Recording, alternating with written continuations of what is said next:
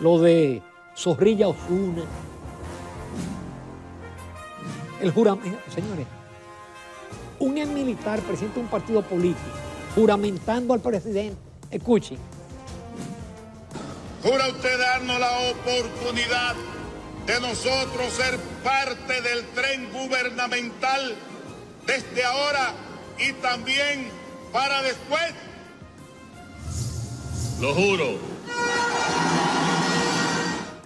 Señores, eso, es hasta una falta de respeto. Amables clientes, sean todos bienvenidos a Propuesta Semanal. Hoy es domingo 29 de octubre del año 2023. Muchos temas de interés que vamos a comprimir en 15 o 20 minutos. Está el caso de Haití, de la frontera y muchas informaciones. Está el caso del dengue, señores. El dengue, tremenda epidemia.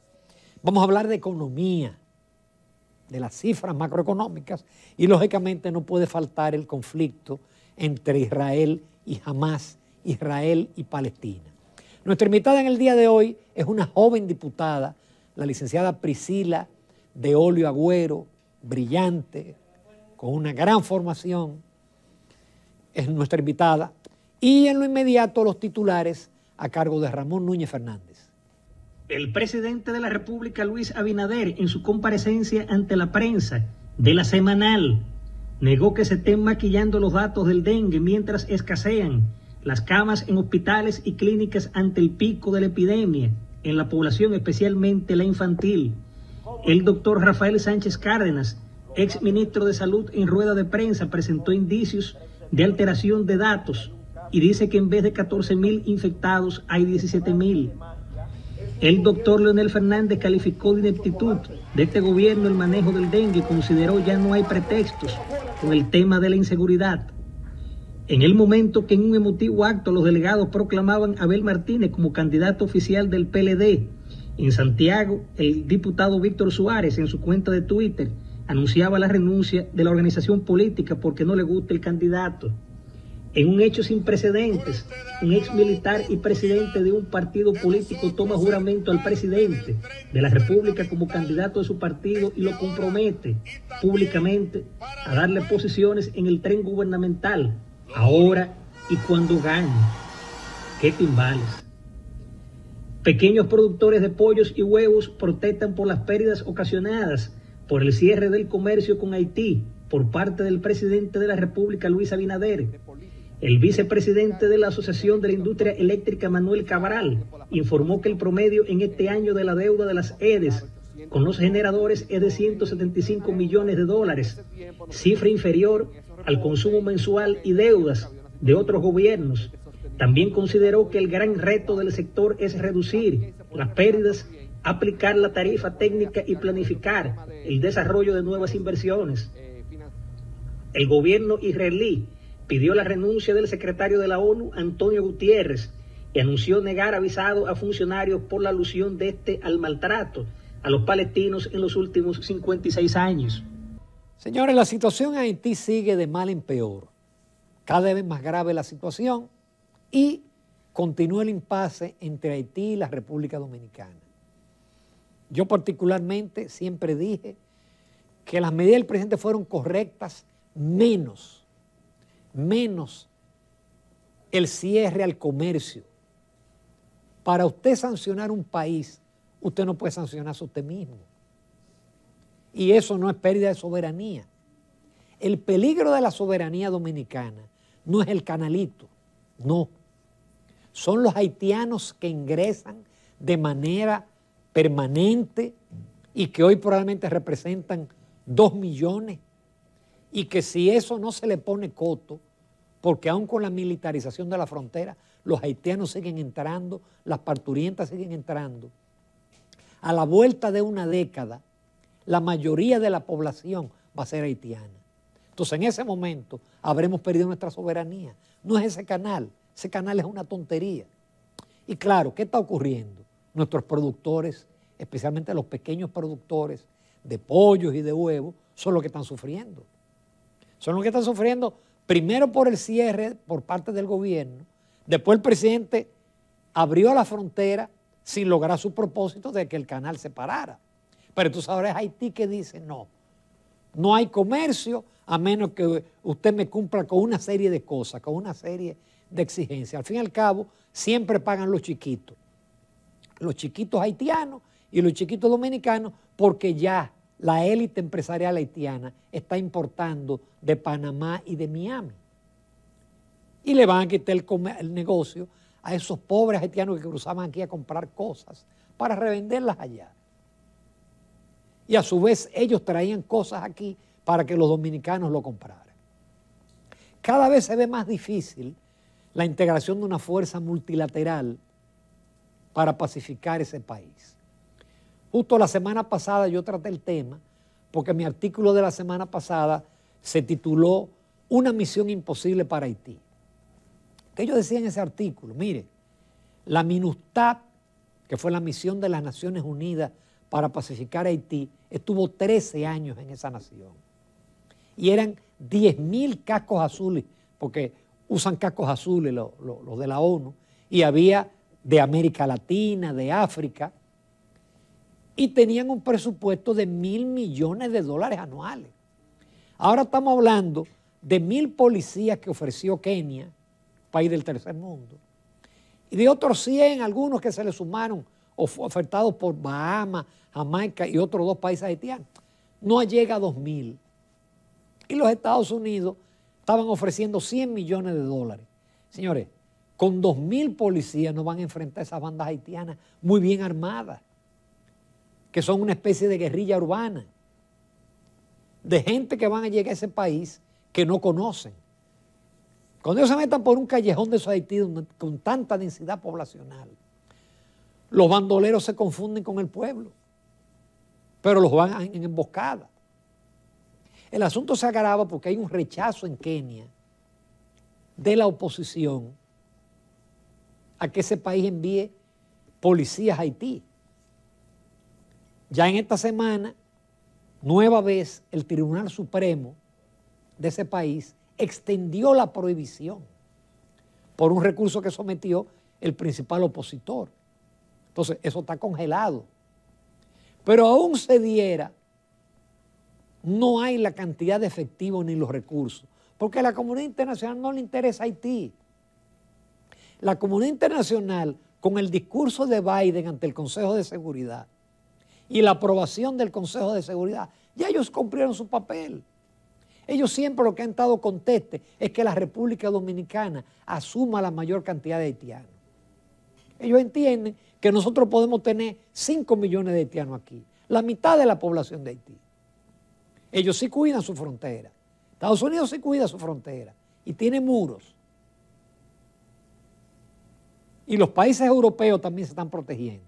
Nosotros lamentablemente sigue el macuteo, sigue entrando haitianos. Fíjate que una, una, una misión de la ONU dijo que, que de aquí entran armas para Haití, porque en esa frontera pasa de todo, en esa frontera pasa de todo, lamentablemente.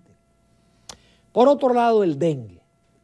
El presidente dijo que no se falsifican los datos. Yo creo que no se falsifican, que hay un subregistro el PLD dio una rueda de prensa con el doctor Rafael Sánchez Cárdenas y este dijo que hubo un boletín el 38 que hablaba de 12 mil infectados, de 10 mil infectados, y que el siguiente boletín 39 bajó a, a 8 mil. Lo cierto es que aquí hubo descuido. El dengue es endémico. ¿Qué significa eso? Que ese dichoso mosquito siempre lo vamos a tener aquí el Aedes aegypti, y que en determinados meses del año, que coincide con la temporada ciclónica y con el calor, hay agua estancada en los patios por motivo de las vaguadas, y entonces en esa agua estancada el mosquito pone sus huevos. Siempre cada año se produce un pico de afectados del dengue y muertos. Ha habido años que ha habido ciento y pico de muertos. Por eso, siempre temprano hay que hacer una campaña de prevención diciéndole a la gente que elimine las aguas estancadas en sus patios. Pero también hay que temprano fumigar. y preparar los protocolos de los hospitales. ¿Qué pasó? Tuvo que el Colegio Médico y la Sociedad Dominicana de Pediatría dar la voz de alarma de que ya no había camas, entonces ahí el gobierno reaccionó. Ahí el presidente formó un gabinete, se comenzó a fumigar, se habilitaron camas, pero hubo imprevisión en el caso del dengue. En esta semana se celebró el aniversario de la fundación del Banco Central, una institución a la cual yo me siento muy ligado, de siempre, le he respetado siempre. Y fui 15 años miembro de la Junta Monetaria, un miembro activo, participante en comisiones. No cumplí los 16 años por razones políticas. Y bueno, quiero referirme al, al discurso del gobernador. Yo entiendo que en situaciones como las actuales, los funcionarios tienen que vender optimismo, y más el Banco Central, porque estamos en un año electoral. Y el gobierno ha recibido embates externos y tiene en su contra el tema de los precios y el tema de una economía que no está en recesión pero que está estancada.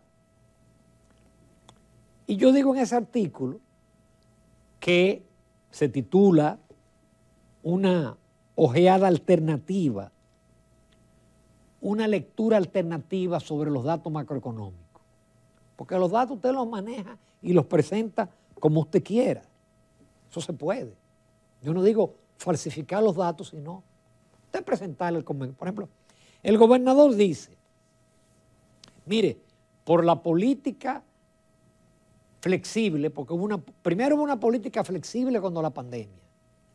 Se disparó la inflación y vino una política restrictiva, donde se llevó la tasa de política a 8.5, se disparó la tasa de interés y entonces vino un estancamiento económico.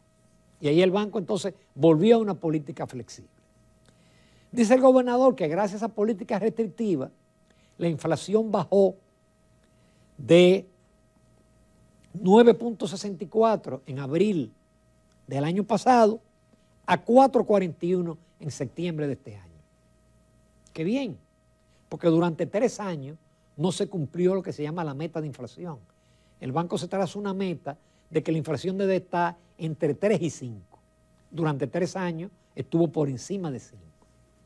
Pero si usted ve ese número solo, ese número solo, lo que dice, ah, que bien, controlamos la inflación. No.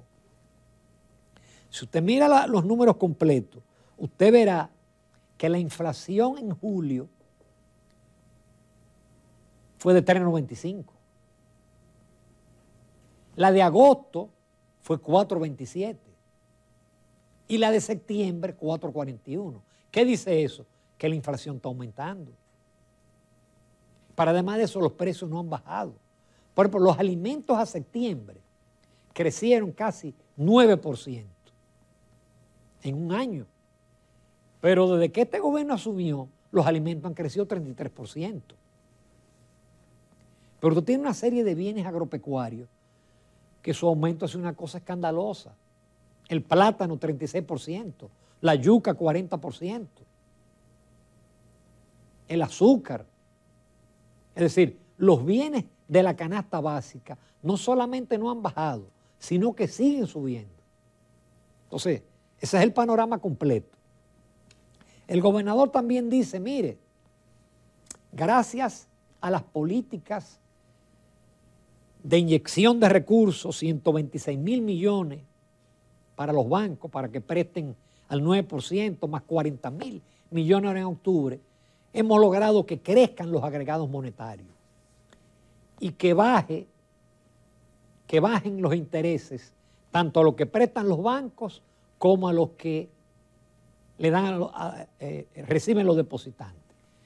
A los que prestan los bancos se llama la tasa activa a lo que usted le dan por su depósito se llama tasa pasiva, ¿verdad? Han bajado 200 puntos. Comenzó a subir ahora en octubre, pero el gobernador lo mide de junio, de mayo a septiembre.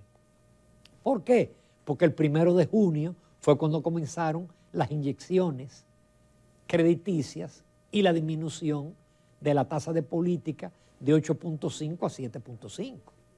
Entonces los agregados monetarios, que vamos a ver qué son los agregados monetarios, usted tiene que medirlo también del 31 de mayo a junio. Ah, no, me lo mide de septiembre a septiembre. Pero de septiembre a septiembre tú estás midiendo cuando tú tenías una política restrictiva y después una flexible. Lógicamente, los agregados monetarios tienen que aumentar. Por ejemplo, ¿cuál es un agregado monetario? Lo que se llama la base monetaria, que eso es fundamental. La base monetaria son los billetes que se emiten, los billetes que se tiran a la calle, más el encaje legal de los bancos. ¿Qué ha pasado con la base monetaria? Ha disminuido en este periodo. Los billetes emitidos, teóricamente con esa inyección, todo ese dinero debía estar en la calle. Pues los billetes emitidos en septiembre son como 1.700 millones menos que en mayo. Otro agregado monetario, el medio circulante, el M1. El M1 está compuesto por el dinero en efectivo en manos de las personas y los depósitos en cuenta de cheques. El M1 apenas ha aumentado un 2%, porque han aumentado la cuenta de cheques. Pero hoy la gente tiene menos dinero en efectivo en la mano que cuando comenzaron las medidas. Por eso que la gente le dice, no hay liquidez, no hay dinero en la calle, pero es que lo reflejan las cifras del Banco Central. Y me detengo ahí, no voy a complicar más con, con, el M2 y con el M3. El M2, por ejemplo, ha aumentado porque han aumentado los depósitos de los bancos en el Banco Central. Porque ¿qué hace el Banco Central? Para que no se le dispare la inflación, esa inyección que ellos colocan en crédito, la recogen. Por eso no aumentan los agregados monetarios. ¿Cómo la recogen? Aumentando su deuda. La deuda del Banco Central ha aumentado en este periodo en 58 mil millones y ya rebasó el billón. La deuda del Banco Central es 1.05 billones, casi 18 mil millones de dólares. Ya la deuda del Banco Central es un componente importante de la deuda pública consolidada. Y también cómo, haciendo que los bancos metan más dinero en el llamado Bernay, en los depósitos de corto plazo. De esa forma, el banco recoge circulante. Entonces, el gobernador dice, mire, de acuerdo al índice mensual de actividad económica, en septiembre creció la economía 3.2, comparado septiembre de este año con el del año pasado. Pero el dato de verdad importante es que el crecimiento acumulado enero-septiembre apenas es de 1.7. Eso es un estancamiento económico. El Ministerio de Economía ha ido bajando sus estimados de 4.8 a 4.5 a 4, ahora está en 3. Mire, no va a crecer 3. Si usted tiene 1.7 a septiembre, para crecer 3, usted tendría que crece 6.9 los tres meses que quedan. ¿Qué ha ocurrido? Y eso lo dijo el doctor Andrés Daguarre, una eminencia en economía. La política monetaria por sí sola no tiene la capacidad para estimular la economía y no la ha estimulado. Han hecho su esfuerzo, pero no lo han logrado. Porque para eso usted necesita también una política fiscal de mucha inversión que no ha sido la característica de este gobierno. Tenemos otro puntico, señores, el conflicto entre Israel y Palestina. Grave. Porque si grave es que jamás un grupo terrorista sorprendió la seguridad y la inteligencia israelí y mató 1.400 civiles, tiene 200 secuestrados, un genocidio. Pero entonces la respuesta de Israel, que es bombardear indiscriminadamente la franja de Gaza. La franja de Gaza es la cárcel abierta más grande del mundo. Es un territorio de 340 kilómetros cuadrados. Es más chiquito que, que la provincia hermana Mirabal, que es la provincia más chiquita. Y eso tiene un cerco en toda la parte de Israel inclusive en la parte que es colindante con Egipto. Ahí no entra nada que Israel lo permita. Ahora mismo ahí, ahí no hay luz, hay un problema de agua, de medicina, de combustible, y han entrado algunas cositas por, por Egipto. Pero ya van 5 mil muertos palestinos. Los palestinos no tienen la culpa. No tienen la culpa de lo que haga Hamas ni de lo que haga Hezbollah. Y de esos 5 mil, la mitad son niños y mujeres. Los niños se ponen en la palma de la mano y en la planta de los pies su nombre. ¿Usted sabe para qué? Si mueren destrozados, para que los identifiquen. Israel va a entrar, ya ha hecho incursiones y eso va a ampliar esa guerra. En esta semana hubo una reunión del Consejo de Seguridad de las Naciones Unidas donde habló la verdad el secretario general. El secretario general condenó el ataque de Hamas, pero oigan lo que dijo, los ataques de Hamas no vienen de la nada, sino después que los palestinos hayan estado sometidos a 56 años de ocupación aficiante. Dijo, los palestinos han visto como su tierra era constantemente devorada por los asentamientos y asolada por la violencia, su economía asfixiada, su población desplazada y sus hogares demolidos, sus esperanzas de una solución política a su difícil situación se han ido desvaneciendo. El pueblo palestino ha sido machacado. Lo que le hicieron a los israelitas por parte de los nazis es lo que ellos están haciendo a los palestinos. Entonces el odio no se va a acabar.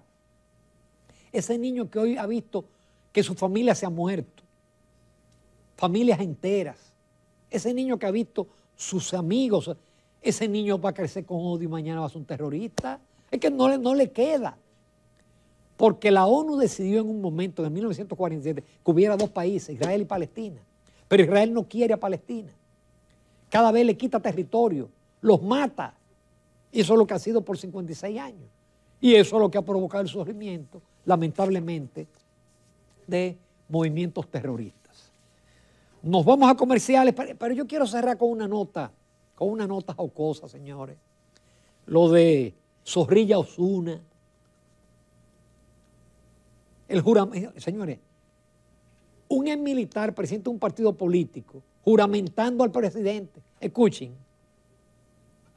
Jura usted darnos la oportunidad de nosotros ser parte del tren gubernamental desde ahora y también para después. Lo juro.